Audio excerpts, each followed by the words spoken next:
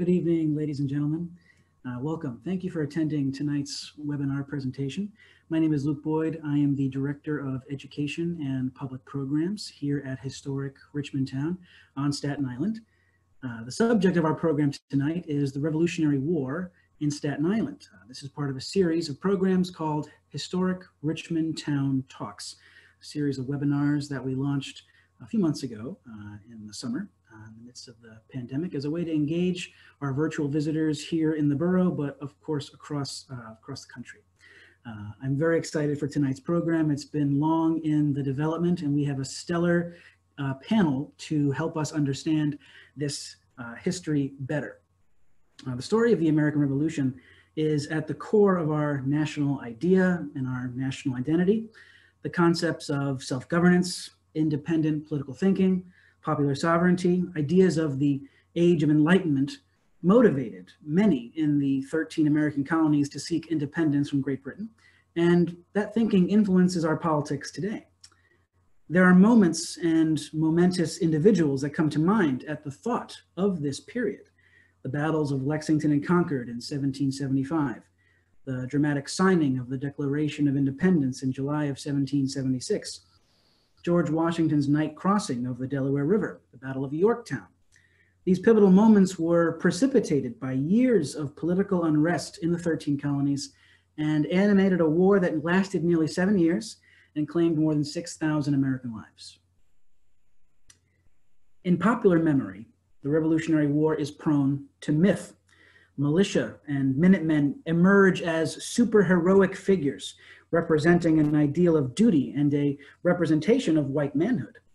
Images of Washington, Lafayette, and founding fathers in the Continental Congresses echo throughout our history in story and song, but also in film, and of course, even on the Broadway stage. There is much left unsaid about the individual soldier, enslaved Africans caught up in the conflict, and the civilian who faced hardship, just to name a few. And the goal tonight is to advance that ball a little bit in that direction of broadening that history. Much of this, though, is due to the nature of the historical record, which leaves out many voices and privileges others. And the traditional historical treatment of this subject has also been a part of this story. Some of the folks on the call tonight are part of that new wave of scholarship uh, looking at the American Revolution again with a fresh perspective. But what does this all have to do with Staten Island? Staten Island was not the theater of a major engagement or battle, but it does have its own claim to this history. As the Continental Congress signed the Declaration of Independence in July of 1776, the British Army began its occupation of Staten Island. They would remain for seven years until the war's end in 1783. But traces of this history remain across this borough's landscape. And I have a few photographs that I can share uh, that help us understand some of the buildings across Staten Island, the landmarks, some of which are owned and operated and preserved by Historic Richmond Town and some of our friends and neighbors.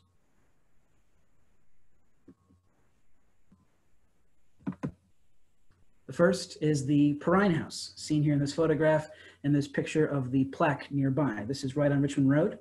This house was built in 1663 by Pierre Billiou, who was part of the Dutch settlement of Staten Island.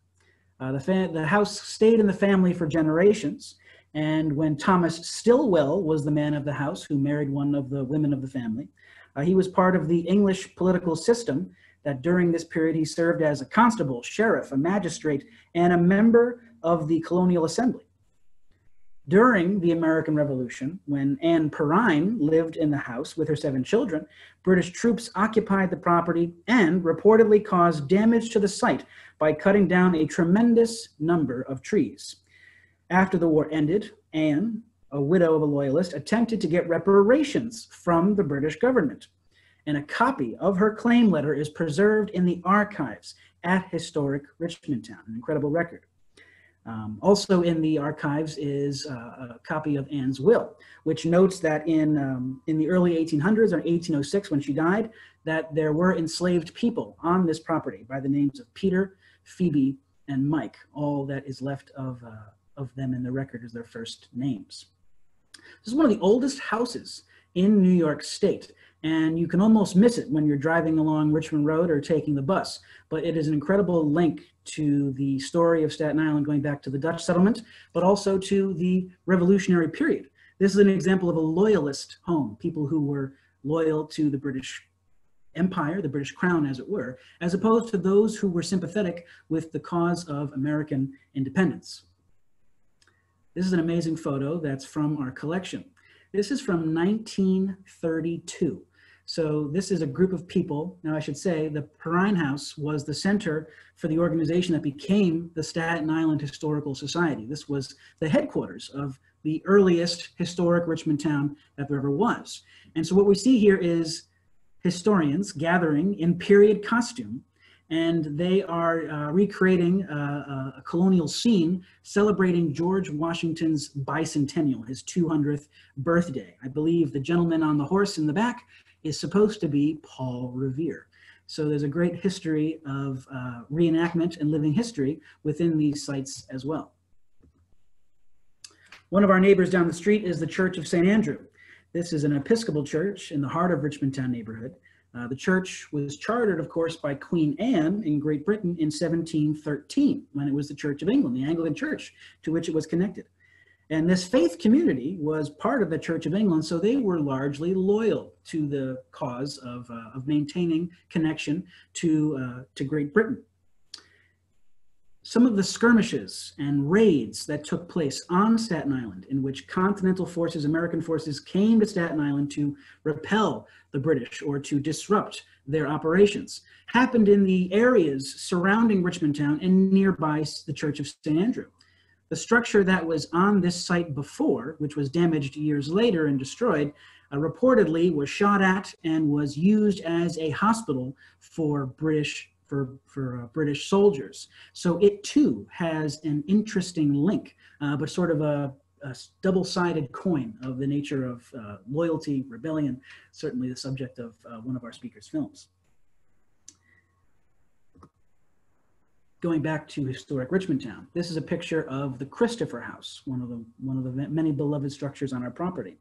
The Christopher House was built in the Willowbrook neighborhood of Staten Island in around 1720, the first section 1720. Other sections would be added um, years later. Joseph Christopher, who owned the house during the American Revolution, was reportedly a member of the Committee of Safety, part of the network of uh, citizen patriots who corresponded, who sent information, who were tracking the situation on the ground, as it were, and reporting back to the Continental Congress and other governing bodies. It is believed that secret meetings of the Committee of Safety, the local committee, were held in this very house. It was moved to Staten Island I'm sorry, moved to Richmond Town, across Staten Island in the 1960s, just in time for the American bicentennial. And the last stop on my quick and dirty virtual tour is the Conference House, which I'm sure many of us know very well. Um, the Conference House uh, is in the lower section of Staten Island in Tottenville. Uh, it, was, it was built by a wealthy uh, English immigrant. Uh, in 1776, while the ink on the Declaration was still drying, as it were, uh, a peace conference was held in this house. Um, and it was hoped, the hope was that this coming conflict could be avoided. People who attended this conference were Edward Rutledge, John Adams, Benjamin Franklin, and Lord Howe. And I have a feeling Lord Howe is still around, at least his memory, in some way. Um, so some of these structures are operated by Richmond Town, some are not, but it gives you a sense of the built environment and the way we remember the Revolutionary War in our special borough. Um, tonight, we are joined by some very, very special guests who can help us better understand this history. And I'd like to introduce them now. Uh, the first I'll introduce is Dr. Phillip Papas.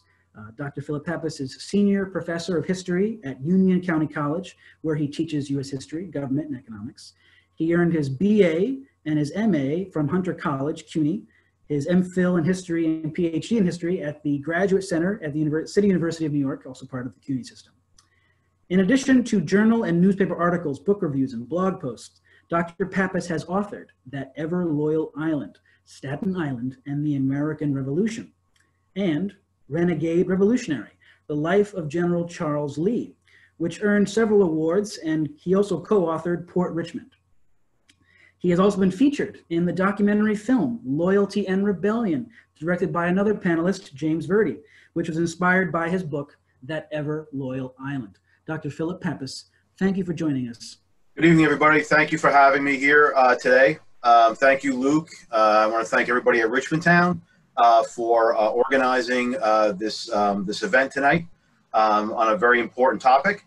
Um, and um, I'm glad to be part of a, a, of a Richmond Town event. Uh, Richmond, I have I have a soft spot for Richmond Town in my heart, and um, I'm glad to be a part of this conversation this evening. Thank you. We are so glad to have you here. Thank you, Dr. Papas. Um, our next, uh, the next person to introduce is James Verdi. James Verdi is a native of Staten Island, New York, with a passion for filmmaking and for history.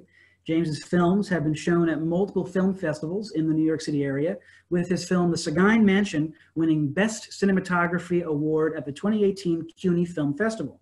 His short film, The Boneyard, takes a look at the remnants of ships hidden along the Arthur Kill, the Staten Island ship graveyard, which as you know from our webinar last month on the subject is a very special topic and I'm happy to explore that more with you, James, in the future. James's latest film, Loyalty and Rebellion, explores the American Revolutionary War on Staten Island. Most recently, James was nominated for the National Academy of Television Arts and Sciences Emmy Award. James graduated from Hunter College with a major in political science. James Verdi, thank you so much for joining us.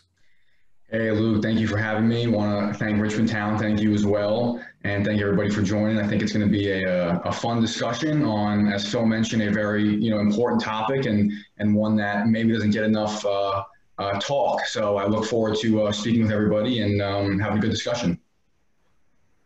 Thank you so much.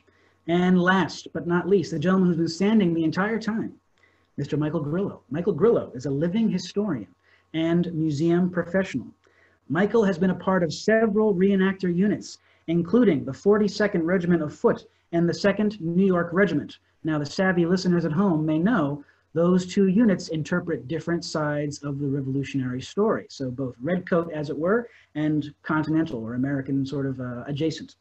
Uh, Grillo has worked closely with the Brigade of the American Revolution and staff at Colonial Williamsburg to understand better how to make his own costumes, or kits, as we might say, in the living history biz. To date, Michael has 24 different uniforms and has portrayed Sir General Thomas Gage, Lord Howe, and of course, George Washington. Michael has been a museum educator at Van Cortlandt House Museum for nearly 20 years. And so, Michael Grillo, I am very pleased to have you. And thank you for joining us. And who are you wearing? Oh, hold on. Hold on, Michael, we lost your audio. If you can turn your microphone on.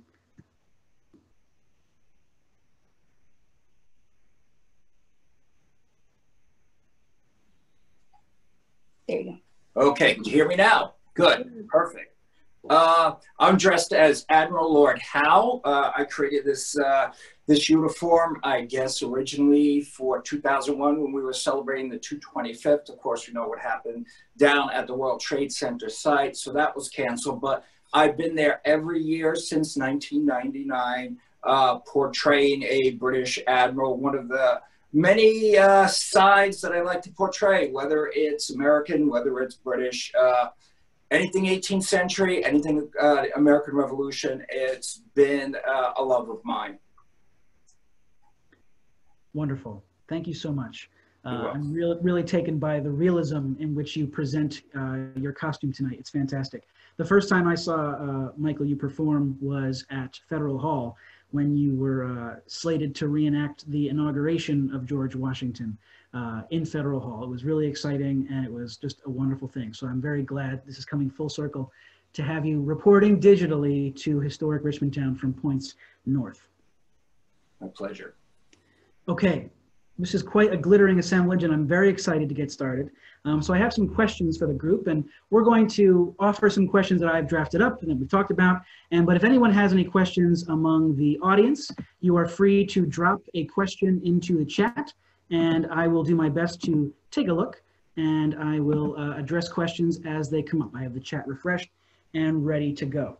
My first question is for Dr. Papas. Dr. Papas, in your book, That Ever Loyal Island, you discuss the political tensions that are unique to Staten Island in the 1770s as a civil war happening in the midst of the revolution. Can you explain what you meant by that?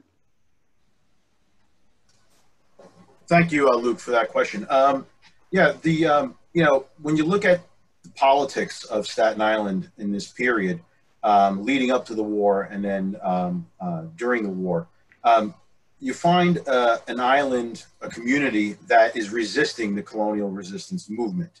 Um, the Staten Island, Richmond County was the only county in New York that wasn't represented at the first Continental Congress.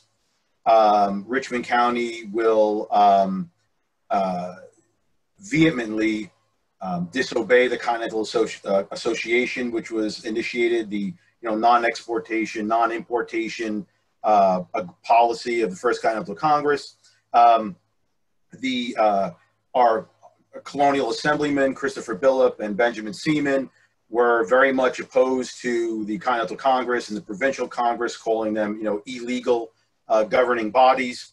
Um, even the Committee of Safety uh, on Staten Island, um, when it was created under pressure uh, from uh, the Patriot side the, in, America, in, in New York, um, they reluctantly put together a Committee of Safety. And then when the Committee of Safety was asked to turn over a list of island residents who were not um, following some of the measures of uh, the provincial Congress uh, and the Continental Congress, the Committee of Safety dragged its feet on that on that issue.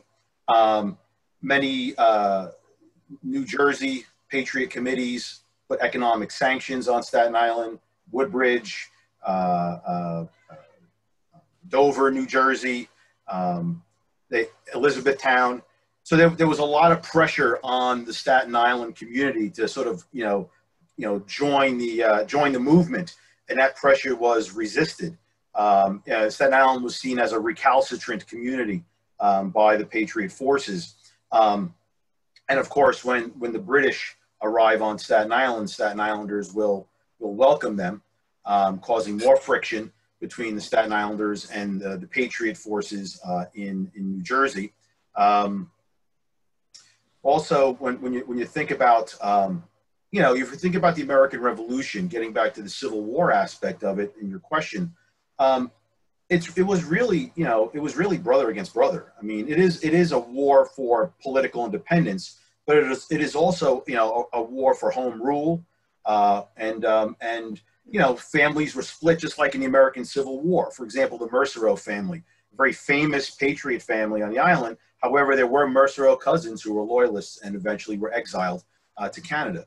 Um, so it was there was this sense of brother against brother. Families were split among one of the most famous families that were split, of course, was Benjamin Franklin, uh, his family, right, with uh, his son William, um, the royal royal governor of New Jersey.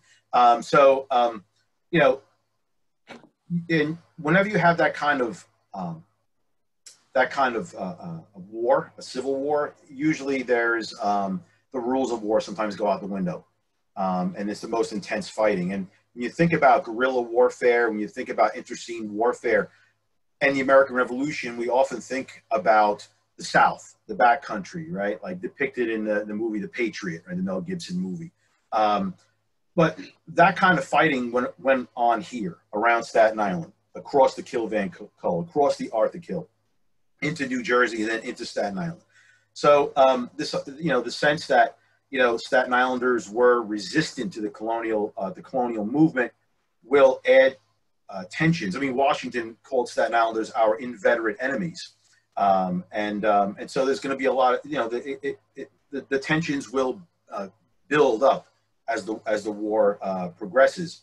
Um, you know, there's a, when General uh, Charles Lee was assigned to defend New York and um, he leaves Staten Island undefended. Now, I guess I'll talk more about that a little bit later in our conversation. But um, you know, one of his one of his uh, um, one of his ideas about Staten Island is well, you know, maybe we should um, confiscate their arms and um, and you know their ammunition, and then if that doesn't work to keep them you know, in line, then maybe we should uh, take their children as hostages. Um, and a, a, very radical position for the 18th century. Um, but it goes to show you um, how lo- how loyalist this community was and how concerned the uh, American, you know, uh, officers were about um, that loyalist community. Thank you for that. Um, in you know, and in the popular understanding of Staten Island, you know, from a cursory reading of this history, we know that Staten Island was largely loyal or had a great loyalist, you know, sort of stronghold. What were some of the motivating reasons why this population was loyal? Was it economic? Was it religious? Was it social? Probably a cocktail of all three, and, and then some. Could you illuminate us on that a little bit? It's a you know it's a combination of of all those factors. Um, one of the important factors is that you know essentially Staten Island was an Anglican culture hearth. Uh, you know, I mean, the Anglican Church was very, very important to the sort of social and political milieu of the island. Um, all of its, just about all of its major political leaders are members of the Anglican Church. Um, it, it's a very deferential society as well as colonial period, the colonial society was. So, and many Staten Islanders deferred to the likes of Christopher Billop uh, when it came to, you know, uh, politics and decisions in politics. Um, the island was also a middle class farming community. Um, you know, they're you know they're living comfortably. Um, all politics is local, as the late Daniel Patrick Moynihan said. Um, and um, you know they were you know they weren't feeling any kind of um, you know talk about rights and and and you know that's all for you know the whole Whitehall and all that. We're making money. We're living our lives. No one's bothering us. Um, so you know um, and then, you know, Staten Islanders had also had an experience with the British Army during the French and Indian War.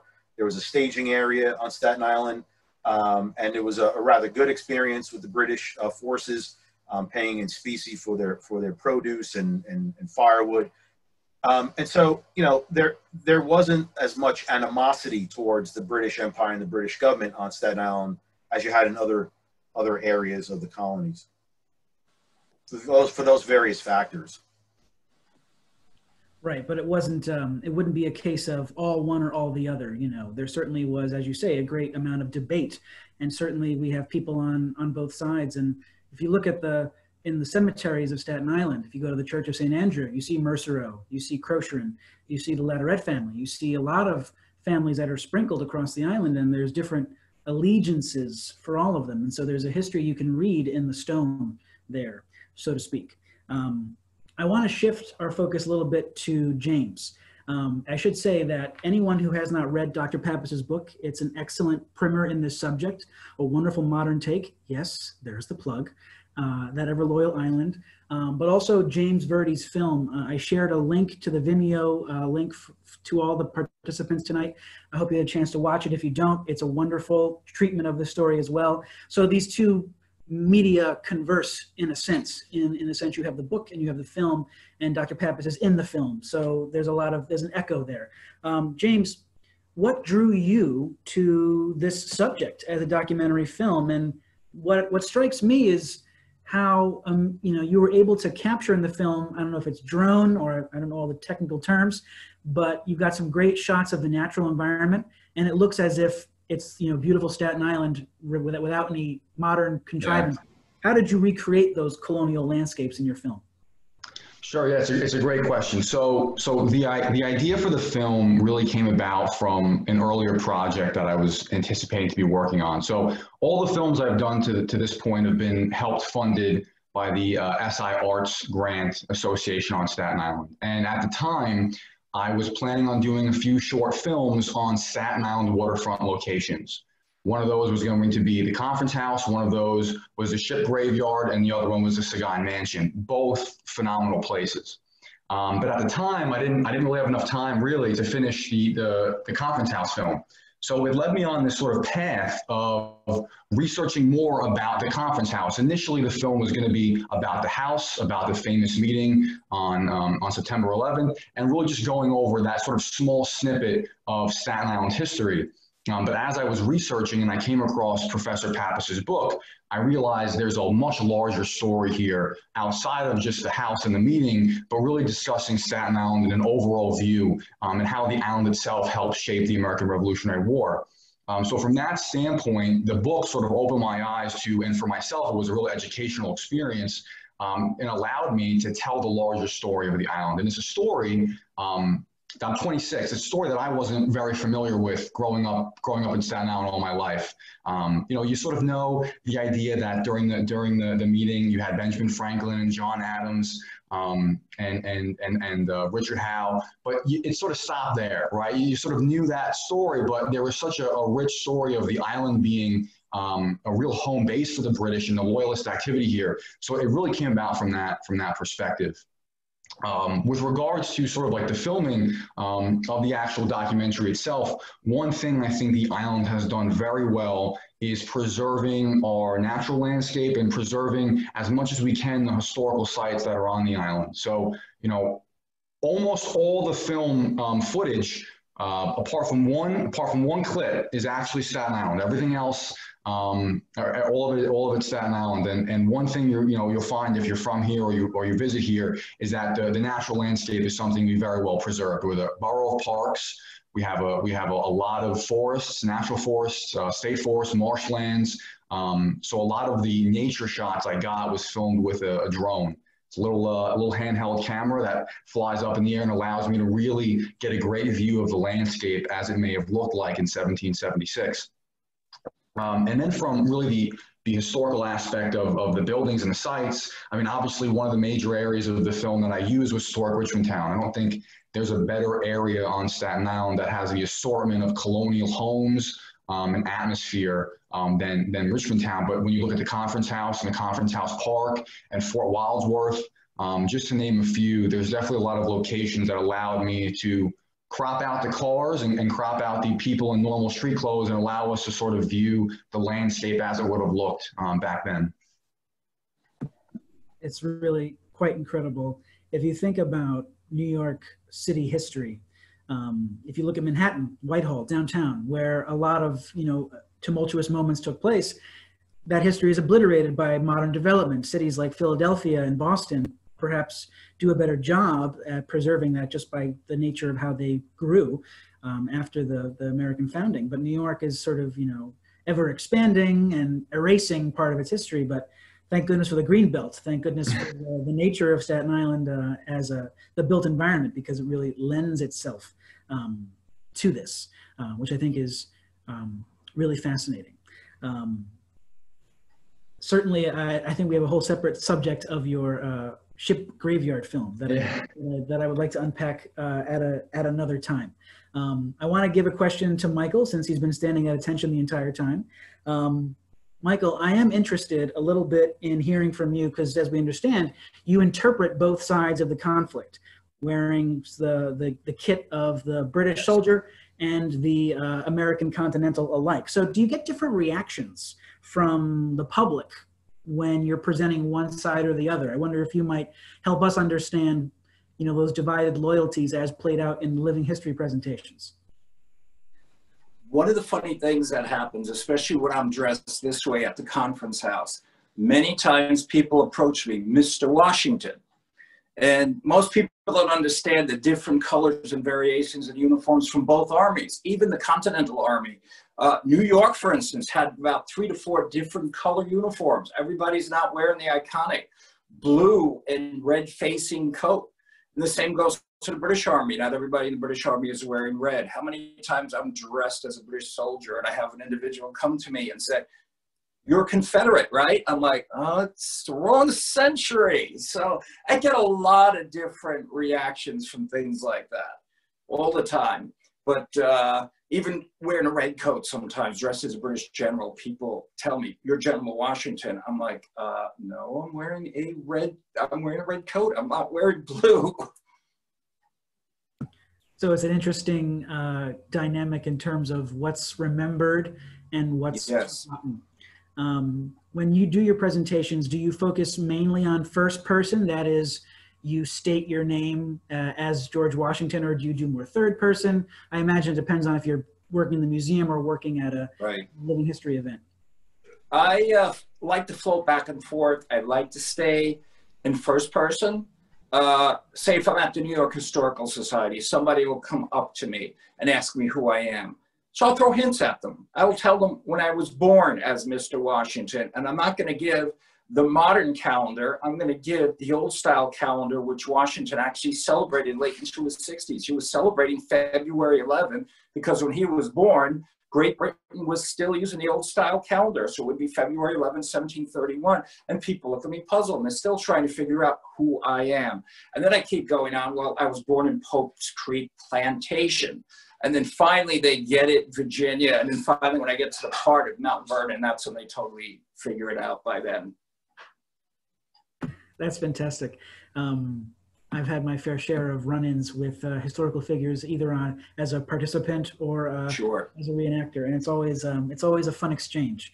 Um, yes, it is. We have we have a question from the audience, and uh, I am delighted to share it with you. Um, so we have a question: um, Can you expand on how the revolution affected women? We're all men here, but yes, women are part of the story.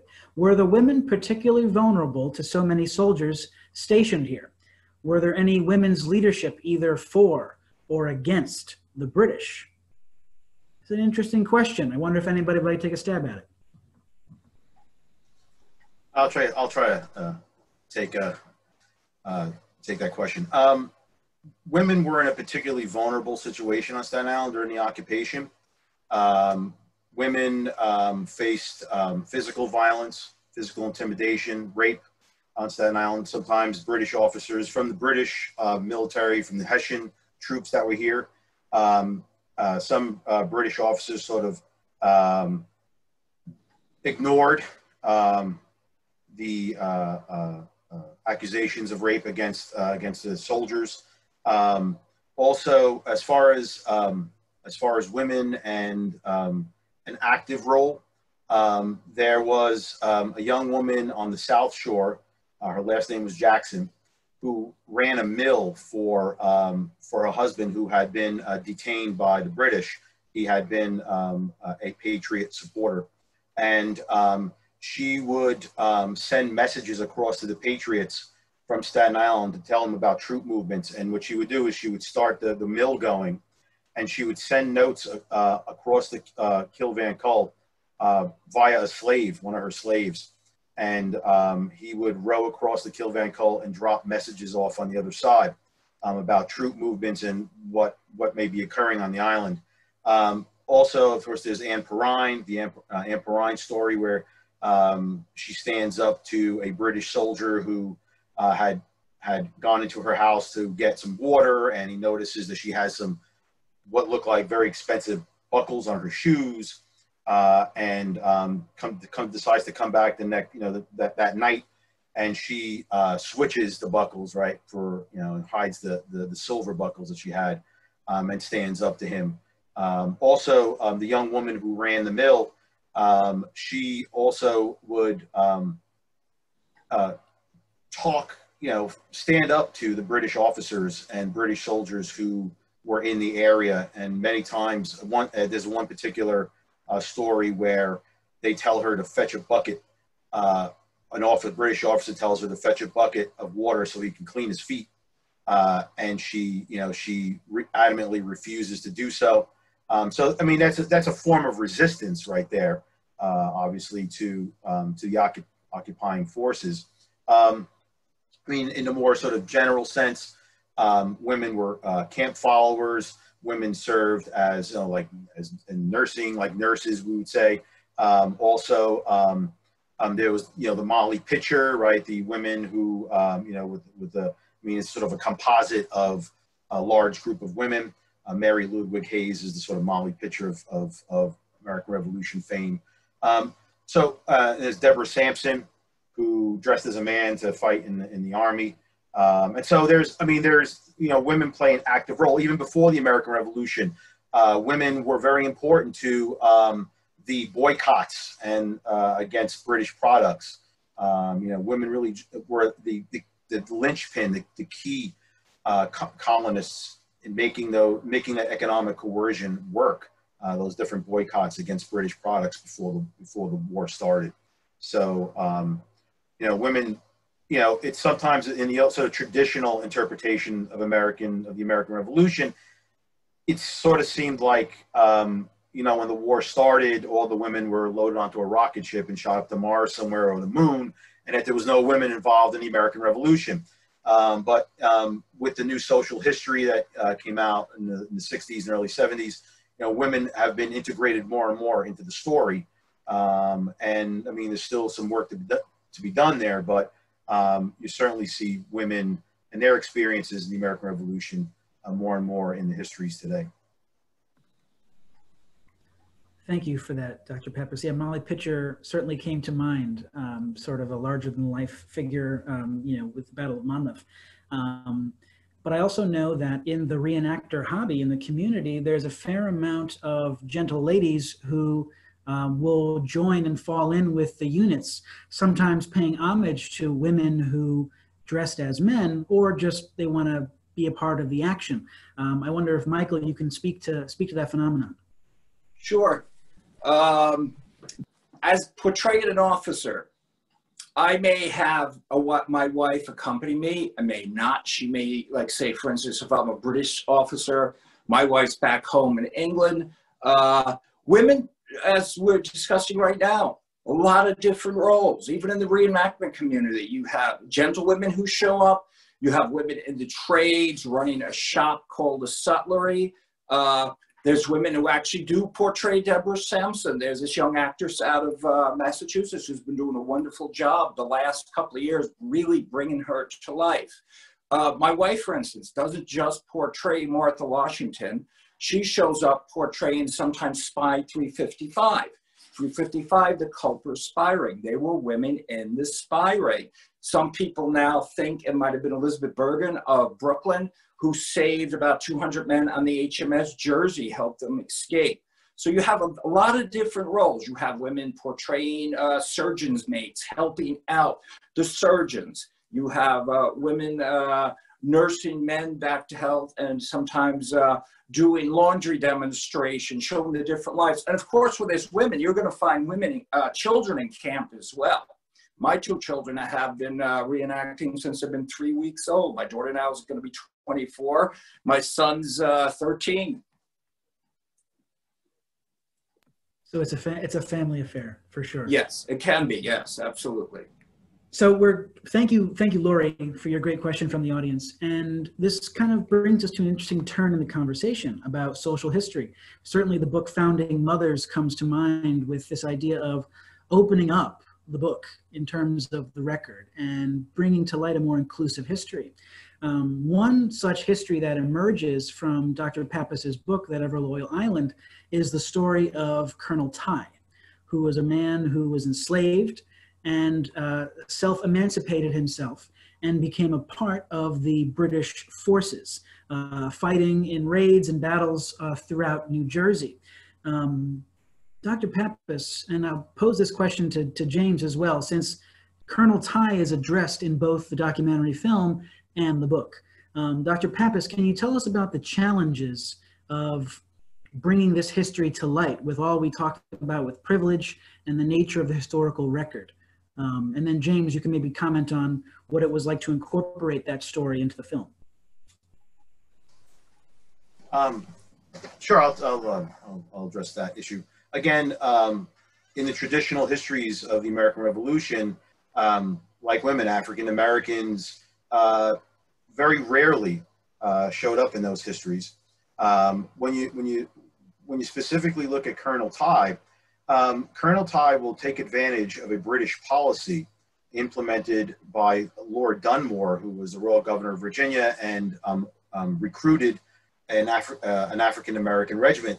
Dunmore's proclamation, um, issued in, in 1775, um, essentially stated that if you were an enslaved person of someone who supported the resistance movement and you were able to escape that enslavement and join the British military in putting down the rebellion, you'd be guaranteed your freedom.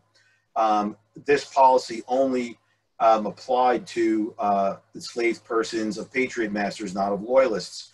Um, so on the island, um, where you had you know many loyalists who were slave uh, slave owners, and slavery was a very important part of the economy of all the colonies and of the British Empire. I mean, many uh, not just planters but merchants in the British monarchy made money uh, from that system. Um, but also, uh, it was an important part of the local economy uh, in Staten Island. Um, there was, uh, you know, it was about a third of the people enslaved um, and um, you know, if, if you look at if you look at the numbers, um, at, after at the end of the war, there's about 3,800 or so Staten Islanders, people living on Staten Island here. Um, uh, 886 are African Americans. Uh, 740 are enslaved African Americans of the 886. Um, so um, slavery played a, a, a very um, important role in the economy and in the social structure of Staten Island like it did in all the other colonies uh, and communities throughout the colonies. Um, but in particular with Colonel Tye. um, Colonel Tye will, was uh, born in uh, Colts Neck, New Jersey, um, and was enslaved in, in, Colt, in, a farm in Colts Neck. Um, had heard about this proclamation when the British Army was on Staten Island, took advantage of it, um, came across the Kill Van Kull, and joined the British, uh, the British military and he led um, sort of like a partisan group that would go back into New Jersey and scout the area for the British, uh, forage, um, also take patriots, uh, kidnap patriots, um, raid certain patriot farms, um, and he gained a reputation throughout, especially Monmouth County, um, uh, and his and his partisan group. Um, eventually, the uh, Monmouth County Patriots established what is called the Retaliators, uh, as a way to combat partisan groups, loyalist groups coming from Staten Island, and one of them was his group. Um, and uh, the leader of those retaliators was a guy named Joshua Huddy, uh, who was known to be very ruthless towards uh, loyalists. Um, and um, uh, in a gun, in a skirmish between Colonel Tye's uh, partisan group and the retaliators in 7 September 1780, Colonel Tye was um, wounded in the wrist um, and died several days later from tetanus. Um, but, you know, the, the, the title colonel um, is a ceremonial title that was given to him by the British military because of his um, exploits on the battlefield during the Battle of Monmouth.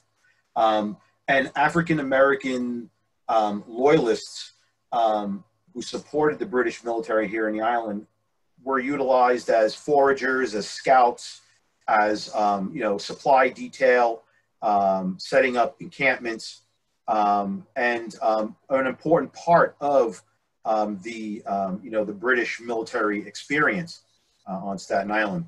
And um, you know, if I can just flash forward to the end of the war uh, for a minute or two, many of those uh, African American loyalists were not given their freedom. many African American loyalists who evacuated from the New York area in 1783 ended up in Canada, um, well, Birchtown uh, up in up in Canada, a very important uh, uh, uh historic site when it comes to uh, the African loyalist diaspora. Um, faced hardship there, faced racism uh, um, from former white, you know, white loyalists, um, and will play a role in the formation of Sierra Leone in West Africa. Um, slave, former African American loyalists from the South who evacuated to places like Jamaica, in many cases, were sold back into slavery. Um, and so, um, you know, it, the Dunmore's policy and the proclamation adopted by the British military was a policy of, of military expediency. Um, it was a policy that we need manpower here. And so, um, you know, we're going to use as much manpower as it can. And it's also trying to weaken the colonial economy, which, as I mentioned, was very much, very much tied, slavery was tied into that economy. Yeah, and just from the from the from the film perspective, I mean, obviously, when you're when you're trying to tell a, a story of of seven years over the course of 40 minutes, um, there's a lot of elements that go into you know developing a cohesive story. But you know, after reading uh, Professor Papas's book and doing research through through uh, reading letters and, and reading diaries, which was one of my my major um, focuses for for research um, diaries of people who were on the island at the time. Most of them were Hessian soldiers or British soldiers. um, one of the things that shocked me was just how large of a slave population Staten Island had. I mean, you know, Professor Papas mentioned a third of the island was was um, were enslaved African Americans. So it was obviously a critical piece of, of the Staten Island history as pertaining to the war. And what also caught me fascinating was Dunmore's proclamation, as he just as he just spoke about, and really, you know, not the good-natured um, proclamation you would think of of freeing these enslaved African Americans, but really a, a very selfish um, act to disrupt uh, patriot socioeconomic structure and also and also gain more manpower. So when when looking at Colonel Tye, he was obviously a major um, figure um, from the loyalist perspective, which is what I was focusing on um, for the Staten Island-based narrative.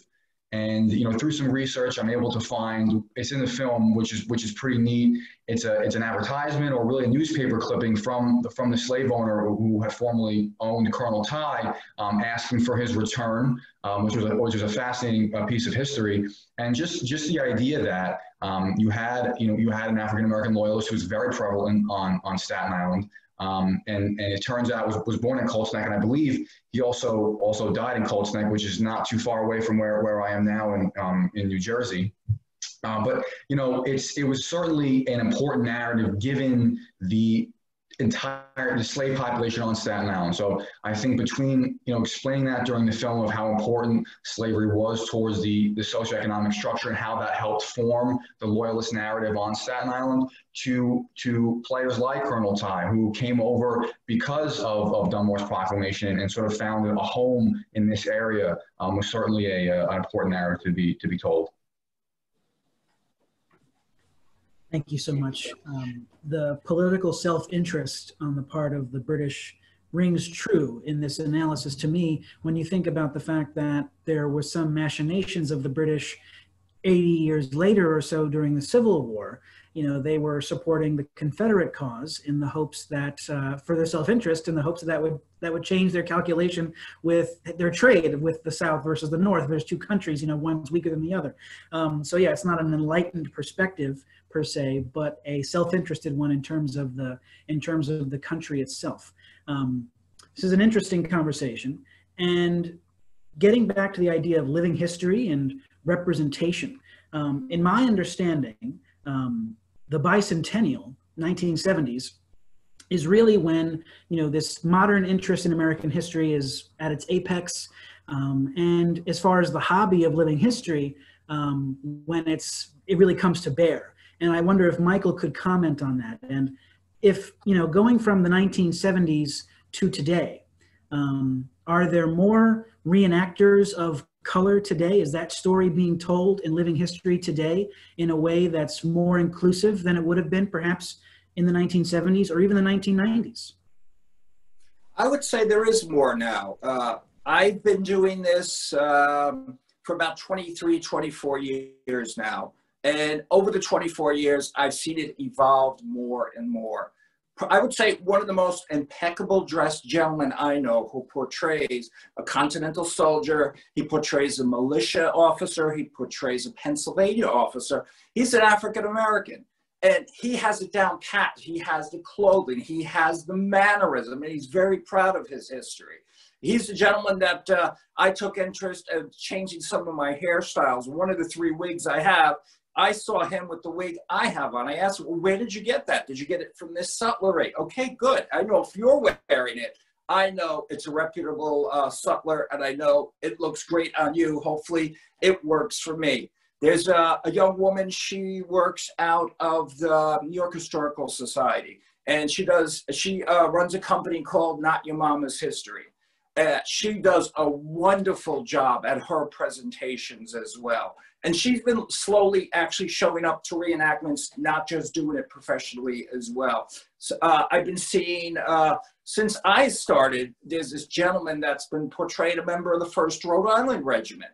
I believe he's still around. I, I haven't seen him in a long time.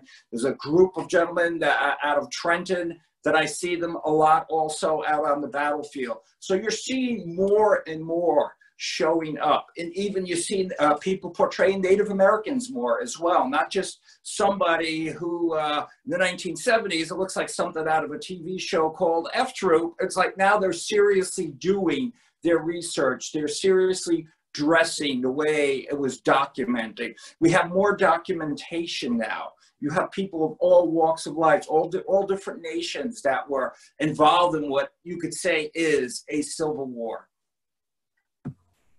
That's excellent. Um, I believe you're referring to Cheney McKnight, who works at correct.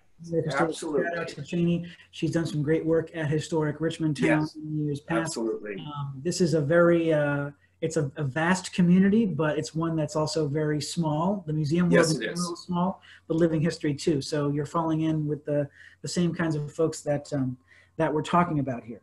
Um, so uh, this is a fascinating, uh, as I keep saying, fascinating conversation. Um, yes. So I spoke about the bicentennial. Um, and I, I, think I mentioned this to you earlier when we were first chatting about this. And this is a question for all three of you, uh, just a sort of crystal ball moment. Um, looking back at the bicentennial, the argument can be made that the histories that were upheld in that time were a reflection of the mores and the customs of that time in that it was a largely, you know, white privileged uh, Eurocentric story that was being told. Uh, so in the moment in which we now live, uh, in the midst of the political rancor, um, in the midst of the calls for social justice in the wake of the killing of George Floyd, and all of the crescendo of politics, um, what work lies ahead in the commemoration of the semi-quincentennial 250th anniversary of the United States in 2026? Big question. Um, I mean, I think, I think, I hope it's a more inclusive narrative, um, more inclusive of women, African Americans, Native Americans. Uh, there is there is more work now being done on Native Americans and and and the war. Um, I like to see, you know, uh, a little bit more done on that. Um, also, I think, um, you know, European ethnicities other than British and British Isles, um, you know, um, uh, Italians who may have been in, in, the, in, the, in the Continental Army, uh, Greeks who may have been in the, in the Continental Army. Um, I think we need to start looking at that a little bit, a little bit more. Um, obviously, the numbers aren't that big, but still, it's part of the, it's part of the story. Um, also, I think um, I think more work needs to be done on the interaction in what is known as the borderlands uh, between out in the west, you know, between the British territories and and uh, Spanish territories. Um, so I think more work needs to be done there, and I hope um, by the time we reach um, uh, the next celebration of the American Revolution, that that is incorporated more into the interpretation as well. Um, uh, I think more local history needs to be done. Um, I'm a big proponent of, of looking at the bigger picture through the lens of local history. Um, you can learn a lot that way. You can certainly learn a lot about the everyday person that way. Um, and, uh, you know, we sort of, you know, we tend to see the big picture. We tend to see the sort of more national events. Um, but looking at it from a local perspective gives you a little bit more intimacy uh, with, with the war. Um, so I think, I think more work needs to be done on a local level. Um, I think more academic historians need to embrace local history.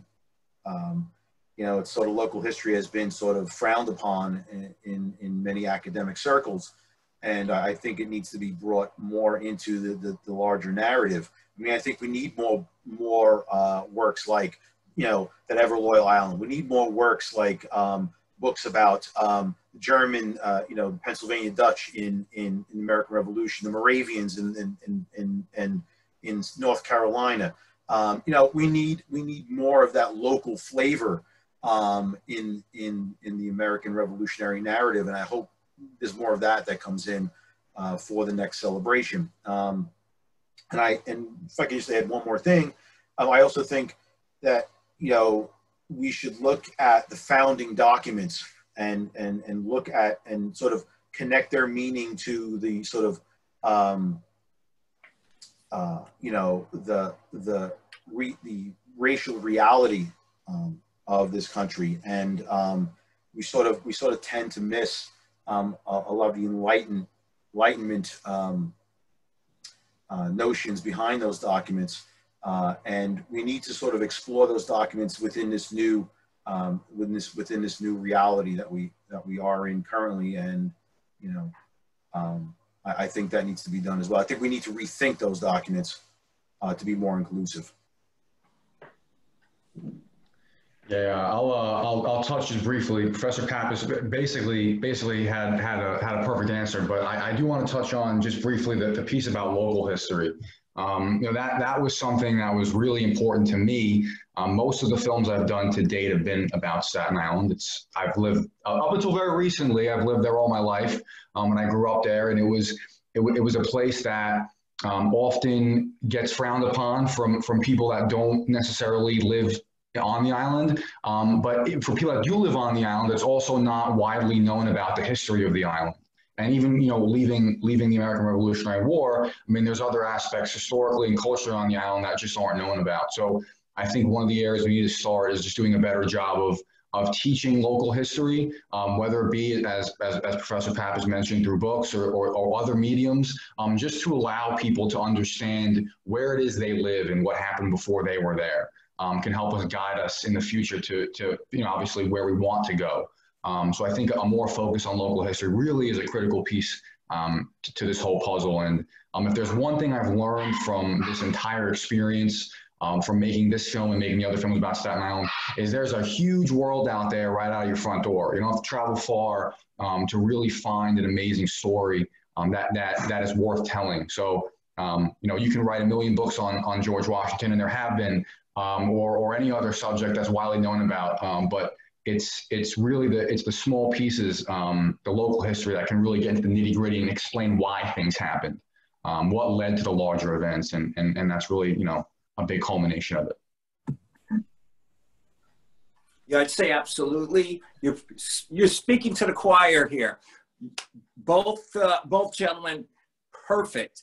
You know, one of the things that I've been doing for the last 20 years uh, when I'm portraying a soldier during the American Revolution is talking about what happened in the backyard, what happened in your hometown, what happened in New York City in general. Most people don't focus on New York City during the revolution. They totally ignore it. It's all Boston, it's all Philadelphia, it's all Charleston down in South Carolina, it's all down in Virginia. No, we have it in our backyard. You just have to know where to find it. One of the, the tools I love to use is I have a whole cadre of 18th century maps that I use, 18th century maps of New York. What was here? What was on this site 200 years ago, 250 years ago? Who lived here? What peoples lived here in this area?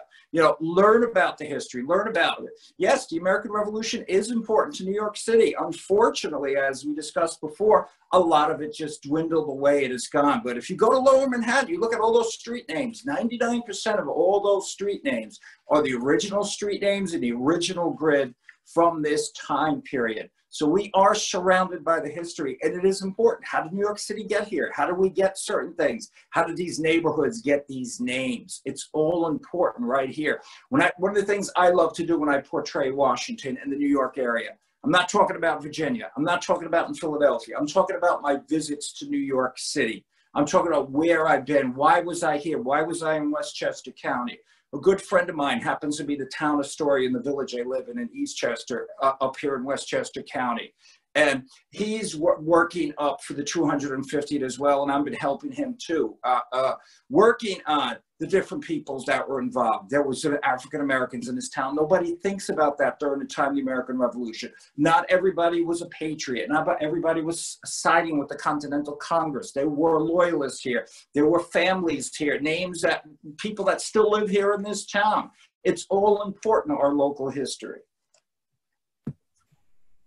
Very well said, gentlemen. Thank you. It's sort of we're in that we're in that like political program where we all agree with each other, and uh, and there's lots of uh, comity among all of us. Um, it occurs to me that the reenactor community is gearing up as they have been for decades. You know, live you know sort of awaiting these anniversaries with great expectation. Museums, scholars, filmmakers, all are a part of that conversation, and we're talking about public history. We're talking about how history is communicated to the public, how they grapple with history, how they understand it. Uh, we have to meet people where they are. Um, and that's what Historic Richmond Town is committed to. And that's what I think we all are committed to in this call in certain ways. So it'll be, it's interesting because each of these anniversaries is a reflection of the moment in which it occurs. Um, sometimes those anniversaries sync up with a national conversation that that that brings discourse forward.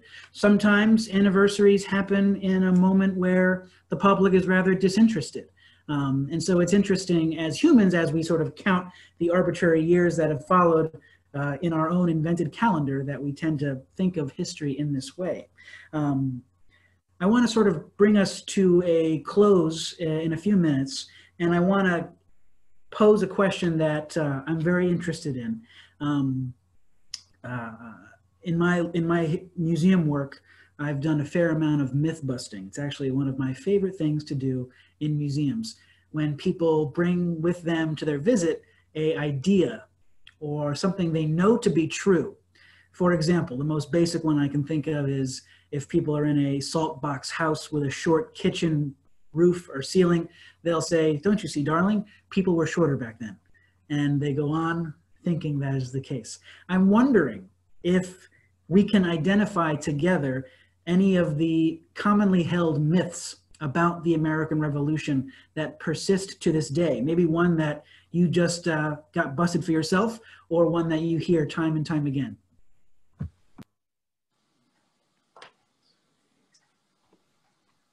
I mean, I'll, I'll, go because mine's probably mine's probably the most rudimentary. Um, I, I have two. So the first one, Michael actually touched on briefly, but the idea that everybody during the war was a patriot.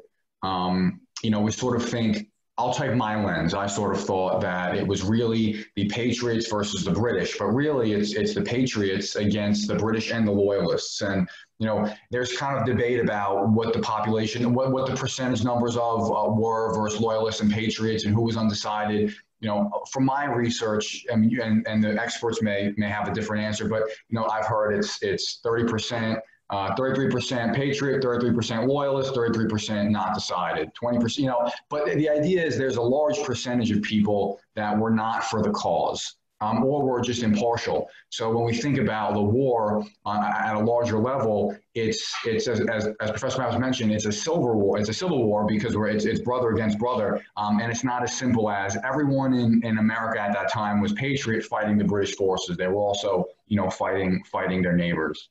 Um, and the second, I have two. So the second one goes back to what I've learned during my research was the, the sort of guerrilla style warfare that was very prevalent, at least at least in Staten Island and, and, and, New Jersey, the bordering areas of New Jersey. You know, from my from my perspective, I, I always thought tactics at that time were, were larger scale warfare, Battle, Bunker, Battle, Battle of Bunker Hill, um, Lexington and Concord, Battle of Brooklyn, larger sort of skirmishes um, that really led to the majority of the fighting. And while that may be true, um, I think there's a large percentage that that were guerrilla style and, and very run, you know, running gun, um, down and dirty. Uh, and, and, and during the film and in, in Papas's book, that plays a huge factor in, in sort of the, the British psyche at the time on Staten Island, sort of not not really understanding this type of warfare and, and, and, and kind of going a little bit a little bit stir crazy because they're they were sort of used to the more regimented style. Um, so those are two things that I sort of learned through the research that going in, I had believed one coming out, I, found out it wasn't necessarily the case.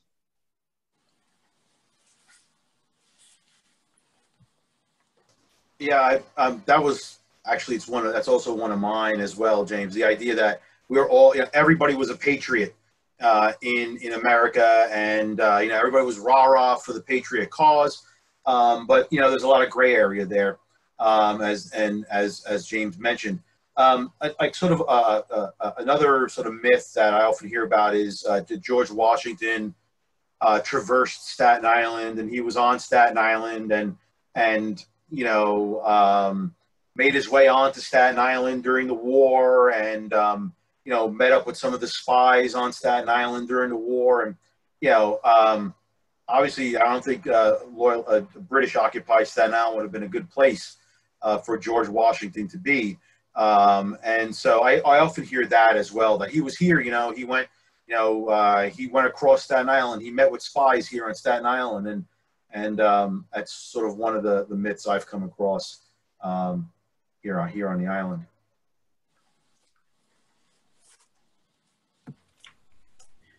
Michael, you're up for any myths if you got them on tap. Let's see. Um, one of the things the public likes to, to, to, to, say all the time when they visit us that uh, the war was won by the militia units. Well, not really. Uh, early on in the war, 1776, uh, Washington did not care much for the way they behaved, especially at Long Island, and especially uh, the day before the Battle of Harlem Heights. It wasn't probably till von Steuben arrived in uh, North America and he came into camp and he started to train the Americans to fight like a regular standard British uh, British army, fighting like European army, linear tactics, which we were fighting linear tactics in the American Civil War 90 years later on. And when the Americans started to fight, you have the Battle of Monmouth, and that was the first battle right out of Valley Forge. And that pretty much was a stalemate, really, although historians say, well, the British won that one. Yeah, well, it could have gone either way because they're really fighting out there in the field. They're fighting like a European style army. And I, that's probably one, one of the times the British probably realized well, this isn't going to be easy and this is going to drag out even more. Maybe that's one of the reasons why uh, Sir Richard Howe uh, decided to uh, resign his commission and go back to London.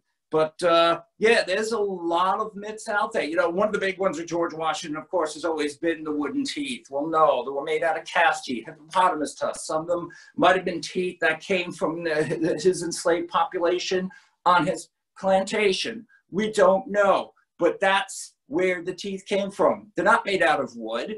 Or you have all these other myths about the American Revolution. Uh, let's see. One, one of the ones that uh, I found out about uh, at a very young age was the dollar being thrown across the Potomac River. I'm like, well, you can't really throw a dollar across the Potomac River unless maybe you're all the way in the northern region near Maryland. I know there's this area that I've been to personally, but I doubt it happened. Uh, but there's a lot of things, a lot of things we have to try to correct through uh, through research. You know, uh, the other thing is everybody's wearing a red coat. As I said before, everybody's wearing a blue coat. Well, British Royal Navy is wearing blue. I'm a naval officer. I'm wearing blue. The Royal Artillery wears blue. Banastre Tarleton, he's an, a, a, loyalist commanding an American unit. The, the, uh, the Royal American uh, Legion, they're wearing green coats. So not everybody is wearing the same coat. And then you, when you throw the Hessians in, you're dealing with their green coats as well. You're dealing with their blue coats. Then you deal with the French wearing white coats. It's like, no, it's not black and white. There's all the different colors in between that's going on here. That's a great point.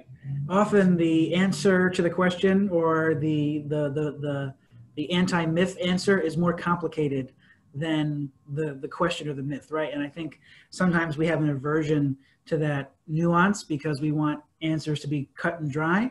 We want the forces to be red or blue. You know, we want it to right. be, we want to fit into a script.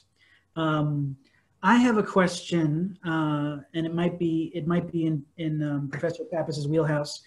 When we talk about the occupation of Staten Island, uh, depending on what you read and the resources you look at, we have an understanding that more than 20,000, 20 to 30,000 troops are coming to the island in in these waves uh, sort of this this you know this are this all these ships coming into the narrows um, but we know that the population of staten island was like a tenth of that around 3000 people if i'm not mistaken at the time um, how many of those 30,000 troops did they all linger here for a long time? Like, what was the average number of troops like on the island? Of course, I understand it was probably pretty variant, but um, it doesn't seem possible for 30,000 troops to be quartered on the island with a population of 3,000.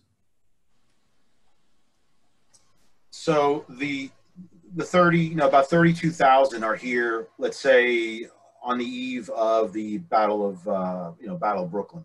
Um, the first wave, um, about 9,000 troops, and they uh, finally come ashore. The last of those 9,000 troops come ashore on July 4th as we're proclaiming our independence. Um, and then by early to mid August, you've got about 32,000 with about 450 warships out on the, in, in the bay. Um, right before the Battle of Brooklyn, um, the Howe, the Howe brothers uh, decide to move the troops to Gravesend from here. Um, so the bulk of the troops leave. Um, however, Staten Island is still ac- occupied as a garrison with a few thousand troops um, and a place where um, convalescents, uh, could, you know, wounded can be brought here. Um, also, um, staging areas for you know for any kind of uh, other operations in the area. so the bulk of that 32,000 are off the island by, let's say, late August of 1776. But there is uh, substantial numbers, and it's different. The numbers, like you said, the numbers are different at different times. Um, also, those numbers are enhanced by loyalist uh, units uh, at, any given time on Staten Island. So it's still occupied as a garrison. It's seen as a, a geographic linchpin to the area, um, and so the British want to hold it. Um, you, you control the Narrows. You can launch uh, attacks, you know, up the Hudson into Manhattan, right into Long Island and into Jersey, and then you're over into Philadelphia. So, I mean, they keep it as a sort of bulwark against their occupied New York and occupied parts of Long Island. Um, but the, the numbers are vary depending on you know what's going on and with the with the military planning. Um, you know, it's a staging area. It's a place where troops are being you know convalesced and so on. Um, and then you've got You've got the loyalist uh, units. You've got the New Jersey Volunteers here as one example of a loyalist unit. You've got the Staten Island sort of home guard, right? The um, the Staten Island Militia, Billopp's Corps, and the cavalry, which was commanded by Isaac Decker, uh, Decker's Ferry, Port Richmond. Uh, uh before Port Richmond's Decker's Ferry. Um, so, um, you know, there's there's there's a number of troops here, um, but not as many as the 32,000 out of here. You know, in that in that expeditionary force in, in the beginning obviously they overwhelmed the, the local population here. Right, and they were very, um, they took up a lot of space, they used a lot of resources, um, and there's this narrative that in the beginning, the British were very res- respective and respectful of the population. Um, but of course, as the war dragged on, there's a sense of fatigue, and the documentary explains this very nicely as well. And of course, you know, there's a sense of the prolonged conflict and, uh, you know, we, we have Anne Perine, who is a loyalist family, and she's saying, "Hey, they cut down all my trees." You know, so um, it did. They, it was indiscriminate in terms of, you know, what resources were needed. I'm glad you touched on Billopp's uh, Corps, uh, uh, Professor. Uh, we have a question from the audience from uh, from Dennis. What about the Billopp's Corps? Do we have anything on them? Were they their own group? Did they have uniforms? Very, very nuanced question. so they were sort of the local sort of home guard, the local militia, um, and they, you know, they are their sort of own unit, um, and they have a a, a, a, unit of cavalry as well, which is uh, which was commanded by Isaac Decker. Um, so you know they were, you know, they're part of the sort of the general sort of loyalist uh, military, you know, history, um, but they are sort of the, the sort of local, you know, militia to here. Um, as far as the uniforms go, I, I don't know exactly what their uniforms were. I mean, maybe we could toss that question to, to Michael if he might know what possibly Billopp's Corps would have been wearing as far as a uniform.